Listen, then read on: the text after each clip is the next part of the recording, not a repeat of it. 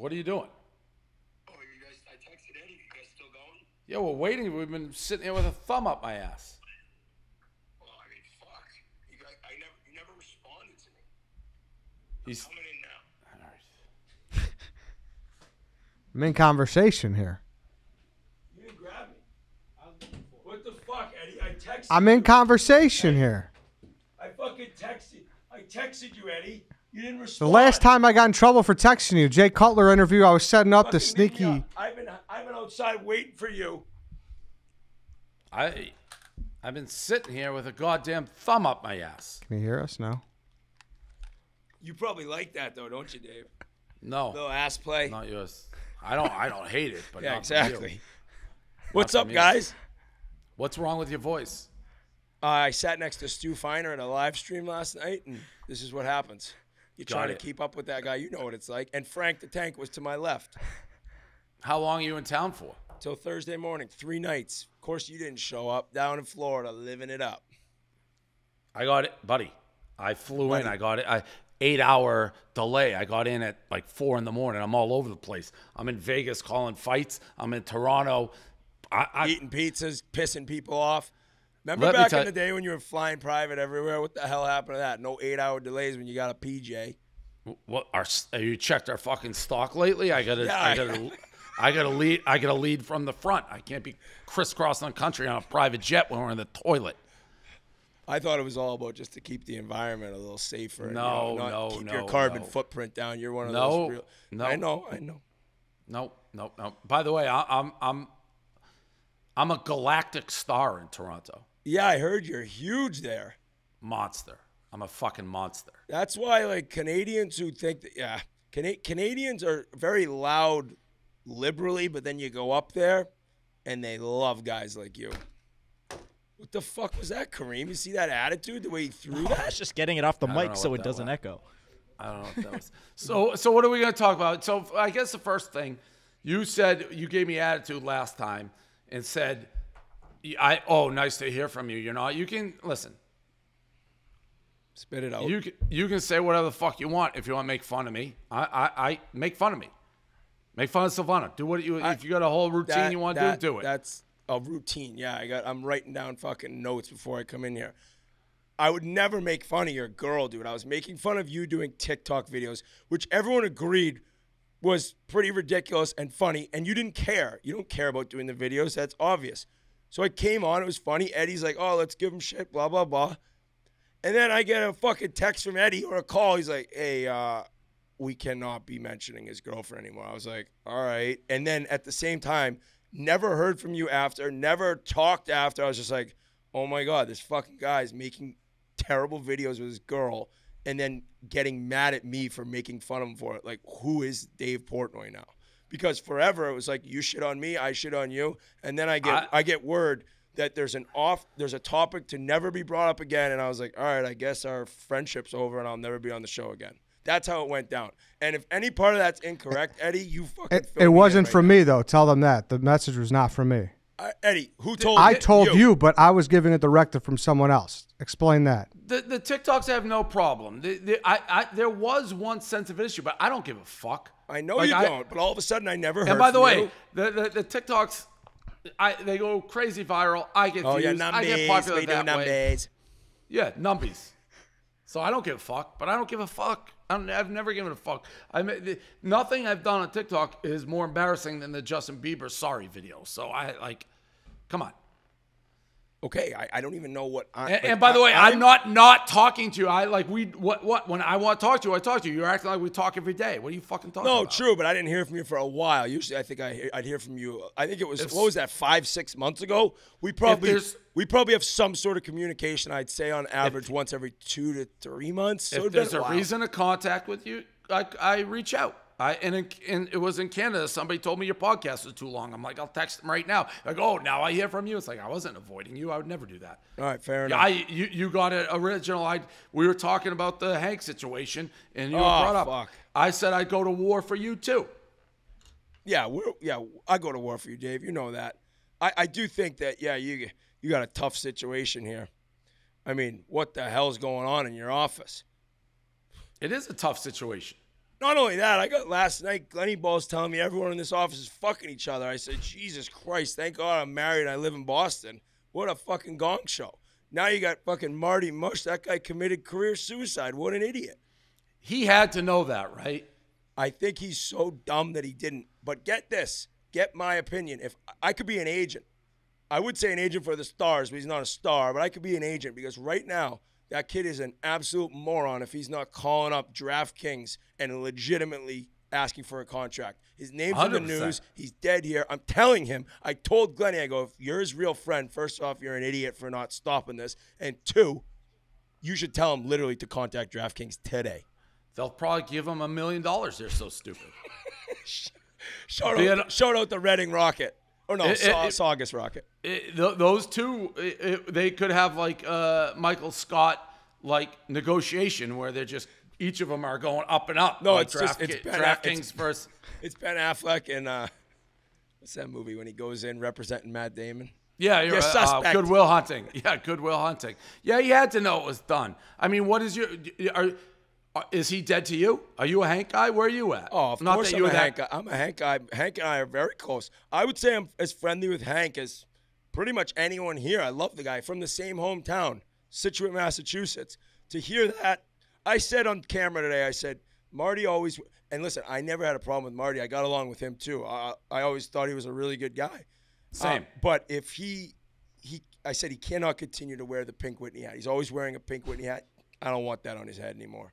I don't want Yeah. that fucking thing on his head anymore. So for me, it's more about um, you just you never do that to somebody that you're friendly with. Doesn't even matter if they're friends. It's like you know a guy and you know, and then the fact of the matter is, forget the relationship as a whole. To be traveling around with him in the past few months and not have told him and had the balls to talk to him and literally just man up and say it, that's the most disappointing thing. Dating somebody, whatever, things happen, but to not call somebody you know sitting here in the office and tell him, I am now banging your ex girlfriend is a gutless move. I, I've equated it to, you know, we're not the mob, but You're kind Hank- of like the Godfather. Hank is a made man. So even if you don't, you're not, he says not super friendly with Hank. If you fuck a made man's ex girlfriend of four years, you're dead to the family. That's essentially what he did. He had to know that was going to be the case. I, and I said this, so it's going back. I categorically deny. Uh, yes, shit happens, relationships happen. Eh, Glenny says everyone's fucking each other in the office. Fine. I don't care about that. There's a difference between hooking up and a four year fucking relationship. That's like two totally different categories. And at some level, everyone has a choice where you're like, I got to get out, stop, or you let it proceed. At some level, they both like, we're going to go down this path. Yep. They had to know the consequences. It sucks because I really like Ria or liked. I really did like Marty. I I would have had both their backs. But Hank, Hank's a Milton guy. He he's a made man. It's a no brainer. fucking wall. yeah. No, he's been through everything. Um, so it sucks. Here's uh, what did I say to? Yeah, I said to Glenny, I said, you know what? If those two got buckled one night and they'd been friends and they hooked up, it's one thing, but they should have just looked each other in the eye after it said, never again. You know, it's one of those like nobody needs to know about this, never again. I have a career. I literally have one thing. I got to keep Dave and Dan happy. And I'll fucking ride off into the set, set sunset for years going on March Madness and fucking Super Bowls and the dream job. And instead, for a girl, he threw it all away. And I feel bad. I don't know Ria personally, but I think being a little bit older and seeing how maybe quick relationships can end when you're young and how stupid it is to be so short-sighted and look past the possibility of a long successful career with a hell of a thriving company it's just a really dumb decision so i would say i feel bad for him but he made his bed now he's got to fucking lay in it It's marriage or bust. yeah but fuck It's marriage or bust. It's marriage or bust. It is. oh man that's a tough one i guess you're right if I mean, if- hey, if- if- she if breaks up- heavily- if she breaks up with him oh my god he's going it- to need somebody to come over to his house and just take all sharp objects and fucking laces out of the sneakers in the house. If she Yeah. breaks up with him, he might have right. No, I'm not even gonna say it. What a fucking ugly scenario. But I'll say this: the web traffic must have been through the roof the past couple days. I'm sure it was huge. I'm sure it was huge, but I took no pleasure in it. Like I honestly, sometimes I do. This is one of those ones. It's like, ah, you know, I had to weigh in, and it, it, I mean, when we, talking about relationships because we're. I, feel kind of weird. I'm like, yeah, this is. yeah, and they are younger, and it is serious, and it's their lives, and I did like them, but I mean, Caleb, I, I I've said this a few times. I don't think people get how funny it is because we found out after the Canelo fight. Caleb knew. Caleb, I don't know a world, but he was being dead serious. He wanted me to make uh, Marty walk the plank.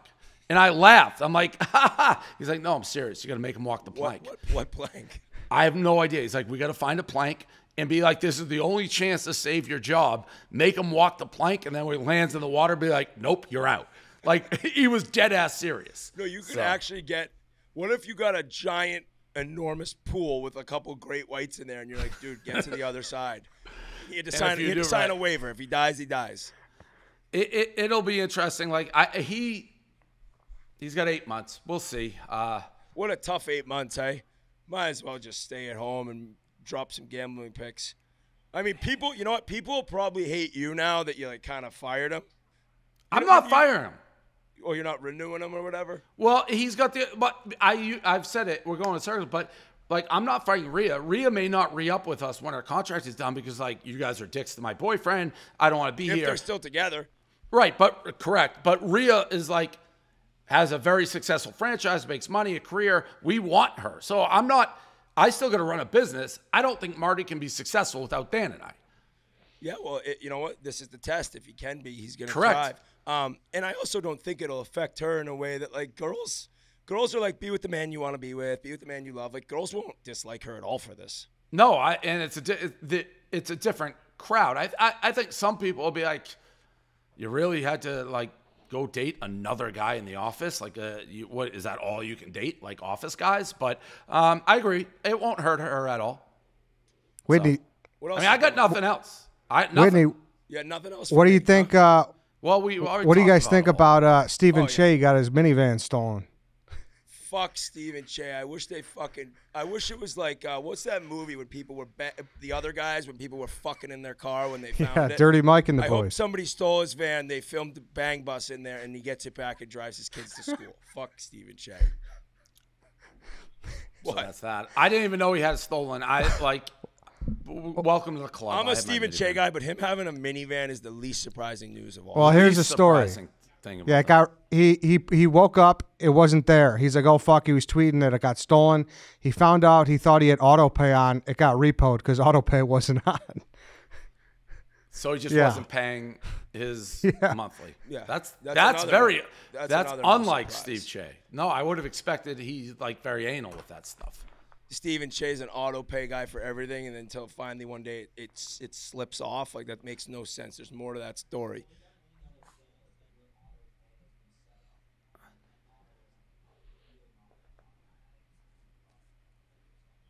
No, the bank was like, "You have a minivan. We're not letting you set up auto pay for a fucking minivan." How's Spittin Chiclets doing? How's Biz doing? Biz is he's Biz just an international it. superstar Biz now. is absolutely killing it. I actually think that watching the TNT with Gretzky, Carter talk at Biz, they kind of rotate whatever. Biz is the star. He's a star show. He's amazing on TV. He was talking about those giant tits behind the bench in Dallas. Apparently, he got a PP whack for bringing that up. But then Charles Barkley came over with him. He was talking about it. So I don't think you can say anything to Chuck. But Biz is the hockey version of Chuck, Charles Barkley. He's a multi-talented, hard-working lunatic that is very quick on his feet and is really good at what he does.